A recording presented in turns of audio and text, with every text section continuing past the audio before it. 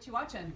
Um, What you watching? right now? Yeah. Nothing. But earlier today, I was watching this Donald Trump movie on Funny or Die. Yeah. It's called The Art of the Deal. With It Johnny was- Depp? With Johnny Depp as Donald Trump. Lost in the 80s, but now it's back on the internet.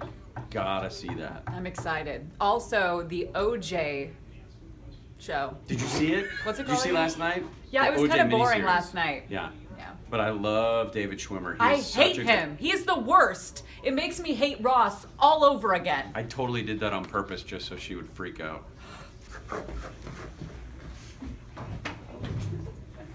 You're so mean. Oh well.